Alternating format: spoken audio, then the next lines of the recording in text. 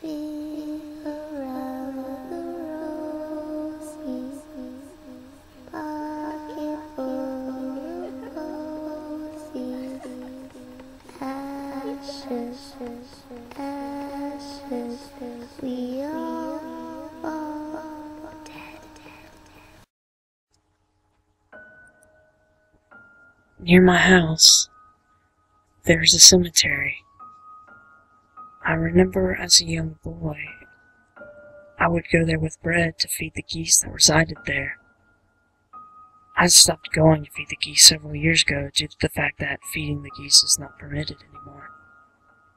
But that was not the reason that I stopped going to the cemetery. My parents forbade me from going back after I told them the story about the tree man. The tree man is what my parents said was nothing but an imaginary friend. But the tree man is real. One day I was walking my dog. We went walking in the cemetery around sundown, and since it was summer, I walked my dog for quite a while. My dog was rather athletic, so we walked for about an hour or so. It was getting dark, and me being a young child, I was afraid of the dark. And my dog was getting tired, so I walked toward my house. But all of a sudden, my dog bolted for the woods. It was very unlike him. Me and my dog had been inseparable since he was just a puppy. He would never leave me unless he thought something meant harm to me. I chased after him. Achilles! Come here! I shouted. I heard barking in the distance. I followed the sound of barking until I found him growling at a man who looked like he was completely made of tree roots. His entire body was made of wood. The tree man handed me my dog's leash. I said what I learned was the right thing to say. Thank you. He nodded and waved as I walked off. His fingers were elongated and sharp. He was incredibly creepy looking. He had bones and veins made of root, and he had no feet, only a massive tangled root system below his lower body. He was held up by vines tied to a tree. He was very creepy looking, but he never scared me. He never talked. He didn't have to. I knew what he wanted. He seemed like he would just want to see me at first. But then he started to say things audibly to me like, What's it like to walk? Would you let me be you for a day? or, You want to be like me? when I told my parents about the tree man, they immediately forbade me from going into the cemetery to see him. And the tree man was just remembered as a creepy imaginary friend. I think that there was something evil in that tree that wanted to trap me inside it, to become just like him. I see it now, every time I walk outside.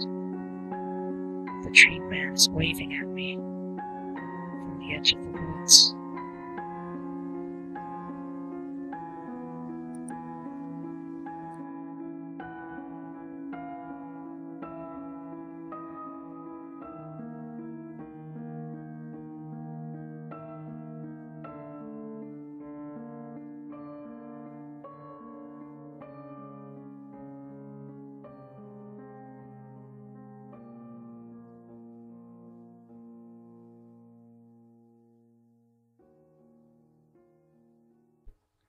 There's a legend in this town. A legend about the deer woman. She was apparently a little girl who had a fascination with deer. So much so that everything she did revolved around the deer she saw. She named them, foraged with them, even slept with them in the woods. She was rather obsessed. After she spent a week in the woods, her parents called the police. They found her drinking water from the lake. It was discussed that she be taken to a mental institution, but her parents refused to have her committed. They were convinced that she just needed a different hobby or something. They refused to acknowledge that she had a real problem. She was forbidden to go into the woods by her parents, but, as little children tend to do, she found a way out and went into the woods anyway. And this time, she didn't want to be found. She would go out in the woods, be found within a few days, and then be sent back to her parents' house where they pleaded with her to find a new hobby, but she never got a new hobby.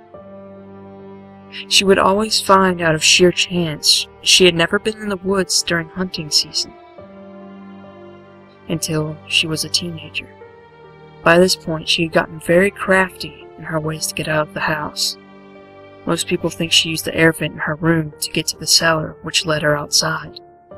But no one really knows for sure. It was late night or early morning, depending on how you want to look at it, and hunters began to make their way into the woods as the girl made her way to her most beloved deer. That day, as she was drinking some water, she heard footsteps. She assumed that it was the police and dove into the murky lake so that she would not be seen. But rather than hear muffled shouting, she heard a muffled bang. Frightened, she swam upwards, still trying to conceal herself in the water. What she saw broke her heart. Hunters had shot one of the deer, one of her most beloved deer, one that she had followed since it was only a newborn fawn. The hunters took her away. The girl cried all night. But eventually, her sadness gave way to pure anger. She wanted to make them pay. That night, she snuck into the hunter's camp and found her deer, her friend, being cooked. This only fueled her anger. In that moment of rage, she snapped the deer's antlers off and stabbed the hunters to death with them. The police found her crying over the deer the next day. They threw her into an asylum this time. She was now considered criminally insane. Her parents had no say in the matter this time. But to everyone's horror, she had escaped the very next day. Harold went with his soon-to-be in-laws out in the woods for deer hunting. He was not a hunter himself, but his fiancée said it would be a good way to get to know his new brother and father-in-law. They spent all day looking for deer, and they had finally shot one or two. It was late by this time, so they made camp by the lake. That night, Harold escaped with his life. His testimony to the police station stated that a woman with antlers killed his brother and father-in-law and nearly killed him. Immediately, they knew it was the deer woman. They caught the girl and put her back into the asylum. But yet again, she escaped. And this time, she wasn't found. And since then, there's been a law put in place to never kill deer in the area. Some hunters still do. And they are found weeks later killed by the deer woman. She has been known to follow hunters into the city. The following is a picture that was taken by one of her victims moments before his demise.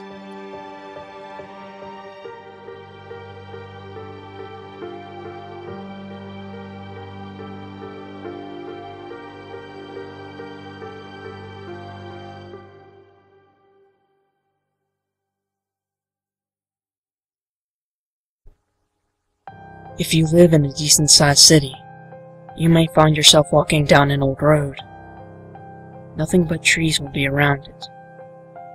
When you notice this, it will be your last chance to turn back. And you can do so with no repercussions, other than wondering what you may have been able to gain. But if you are a risk taker, and you are brave, continue walking. If you are driving a car in the beginning of your journey, it'll break down at some point. As you walk, you will begin to flip into fatigue quickly. You'll see houses around. Do not go in them. They will trick you, thinking that they are your destination. But they offer you a false finish to your race. You will walk for what seems like years. There will be other trails, but you must stay on the one you are on. Eventually, voices will come. They will first tempt you to veer off your path, then beg, then threaten.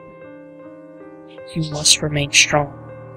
You must not give in to the voices. If you do, it will be your demise. You cannot stop and rest. If you do, you'll fall prey to temptation and stay there on that part of the road for the rest of your days. Keep walking. Never stop, not even for a moment. You will feel you have walked around the world a hundred times before finally beginning to make out something in the distance. It is a man. Do not fear him. He will give you the true respite. Your prize for your devotion to walking the trail. He will be dressed in a cloak, and his face will be shrouded in shadows. He stands tall, almost impossibly so. As you walk closer, relief will wash over you in waves, and you will feel that your journey that has lasted what seems like ages is finally complete. As as you approach him, stand in front of him, he will ask you one question. Do you accept the gift that I offer? Answer yes. And from now on, no matter what you do, you will succeed in. it. Should you ever be in danger, the hooded man will come to your aid, and you will have immortality. But you must accept the man's gift. Today was just an ordinary day. I went to school, I did my work, and went home. I had been getting tired of this day in, day out routine. I wanted something different, something exciting. Wow. I got my wish when an old friend of mine texted me telling me to meet him at the old train station. The old train station. Why that place? It's falling apart and it's a known place for gang activity. Now, I'm no chicken, but I wasn't about to be shot by some guy trying to close a drug deal. I tried to text him back saying, Why the old train station? Can't we meet somewhere safer? He replied, No, you must meet me there. You must see what I have. This really creeped me out, but against my better judgment, I went to the train station around sundown. I sat there and waited. I didn't see him until late that night. He ran out of the woods and motioned me to follow him. Not knowing what else to do, I followed him down the tracks. I was barely able to keep up with him. He finally just disappeared from my sight. I should have turned back. I should have gone home, but I didn't. I ran as fast as I could down the trail to try and find him. I ran until my lungs burned, and eventually I had to stop.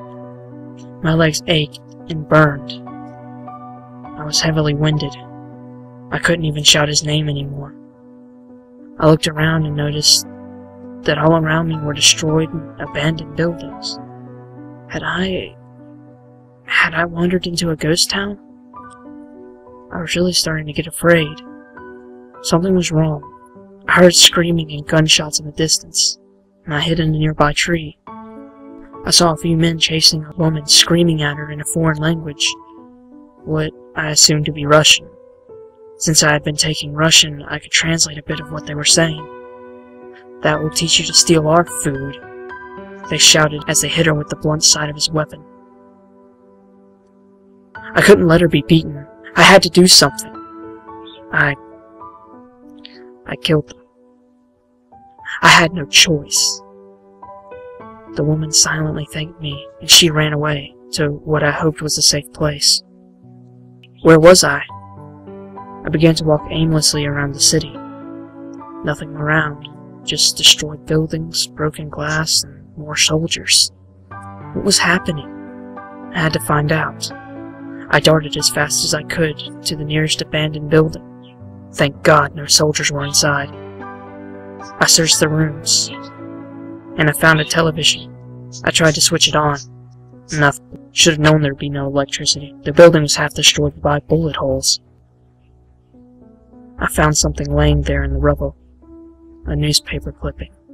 America under siege. President dead. UN crumbles. Oh. Oh God. I'm... I'm in the future. That train track led me into the future.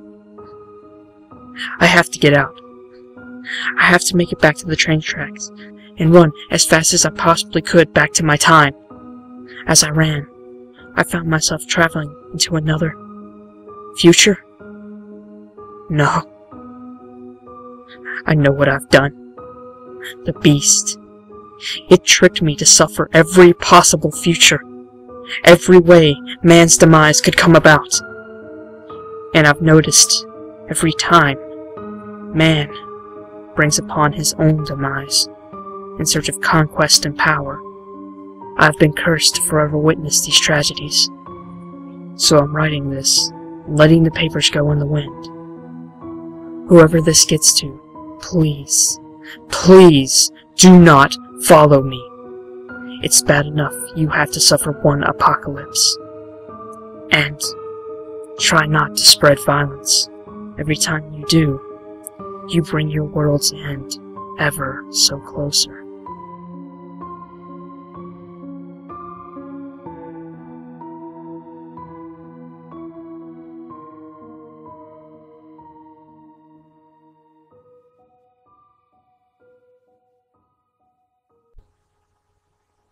My name is Isaac Moore.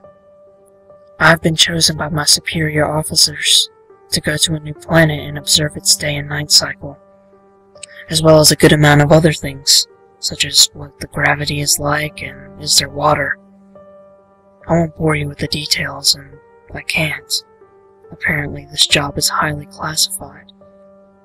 After six months of being on the space station, I finally feel like a real astronaut. Apparently, I'll be sent alone. They feel it's too risky to send an entire team. Anyway, I'll be there for one entire Earth week. Also, the Admiral said to keep a voice log on what I see and feel every day.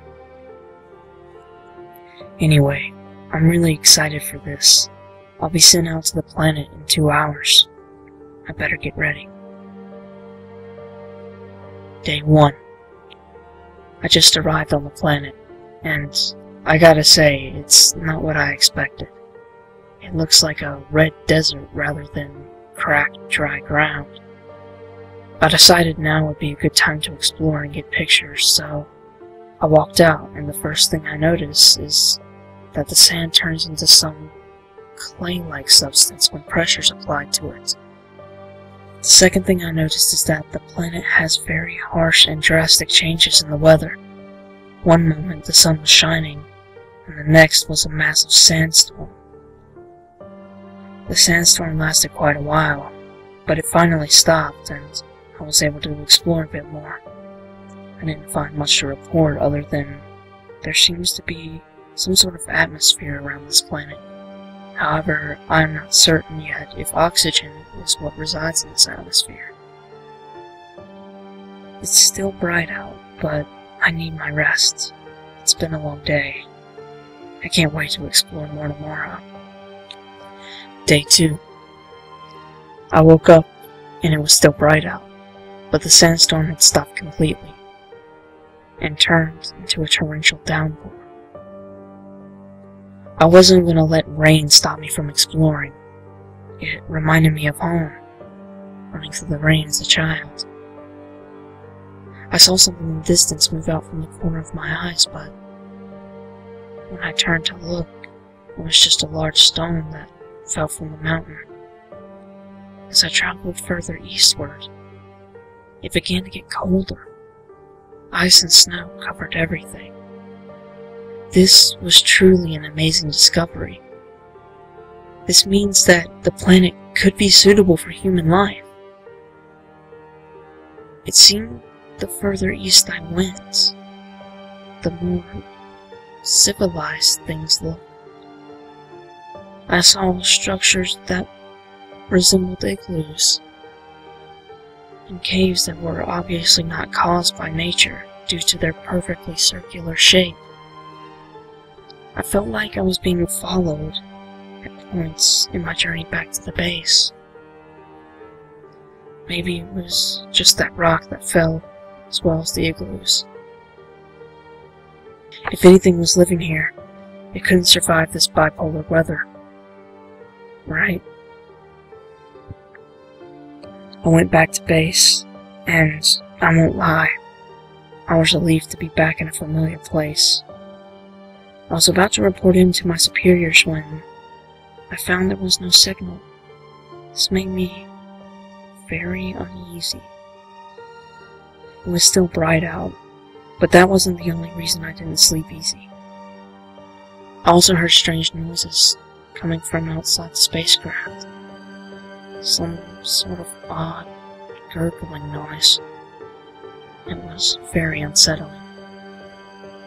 Day 3. I woke up, and it's starting to get darker outside. That gurgling sound around my shuttle was gone. I figured it was safe to head out again. Today, the sun was beating down on the planet, where the snow was yesterday. I could see things that were hidden in the ice now. There was smooth, solid rock with odd symbols etched onto it. It was definitely not natural. This was carved. There must be some sort of intelligent life in this planet. The gurgling sound returned, and I whipped around and saw something running from me, like some sort of frightened animal. I followed it. I ran as fast as I possibly could.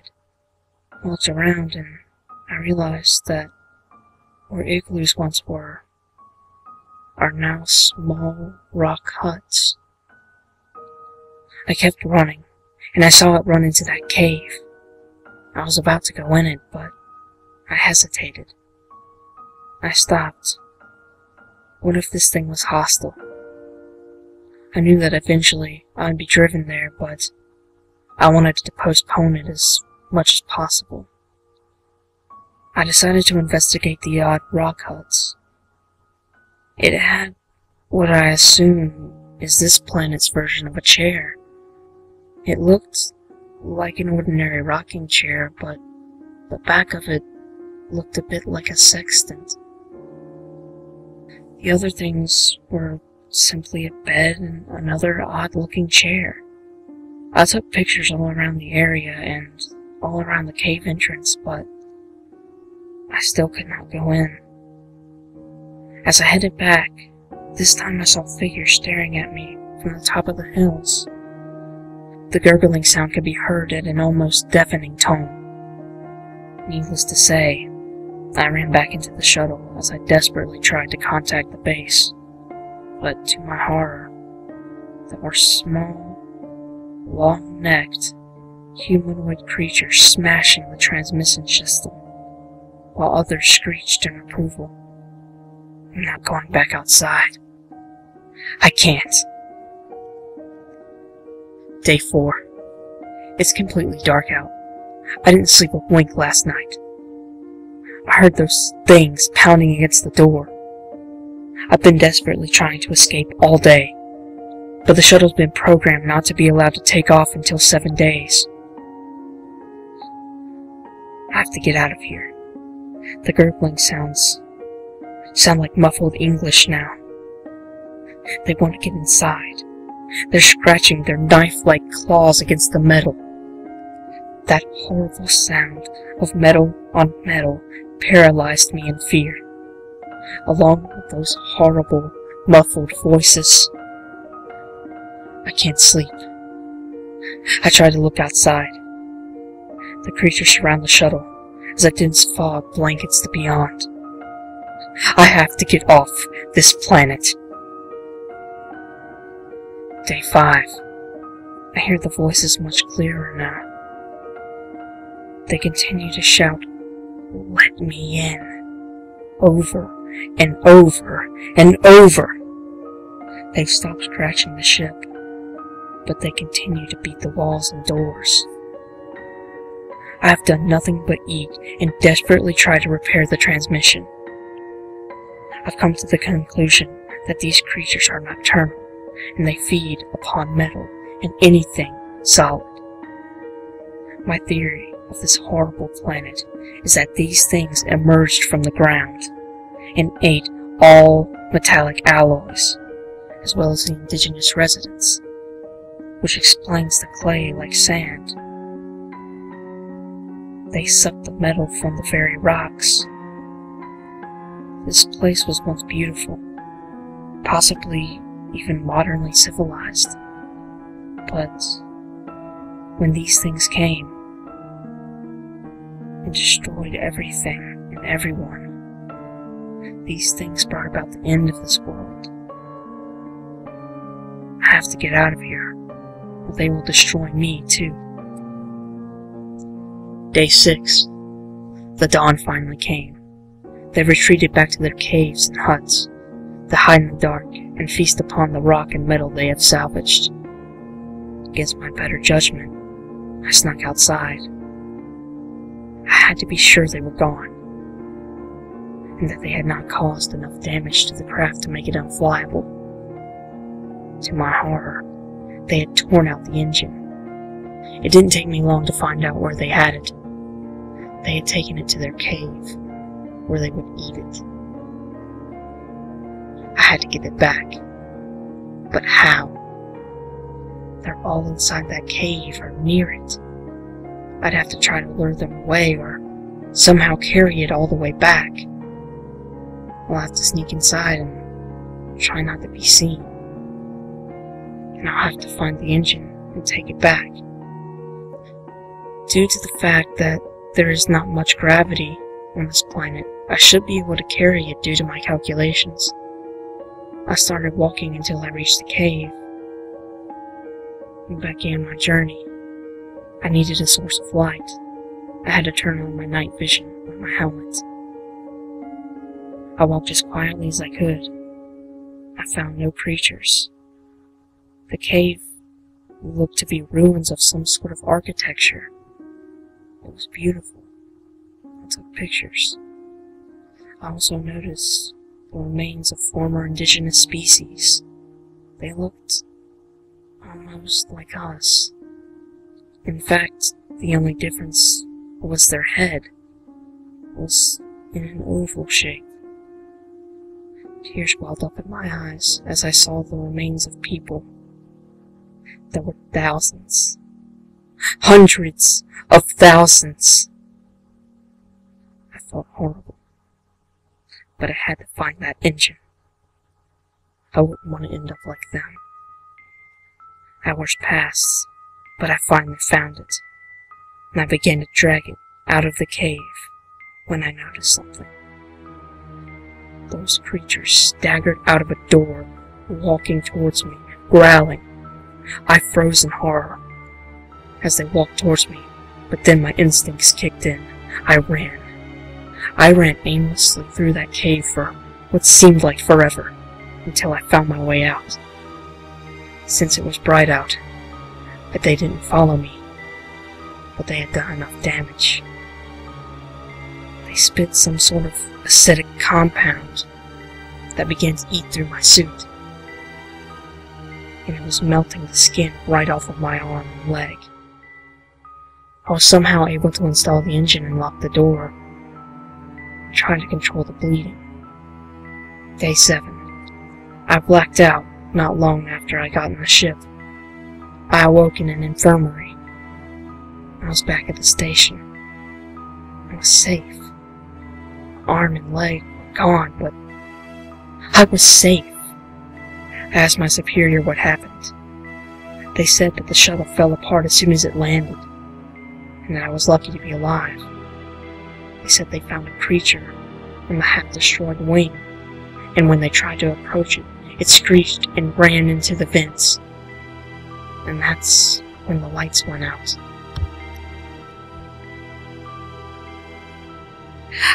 I hear it calling me. It's coming for me. Everyone's dead.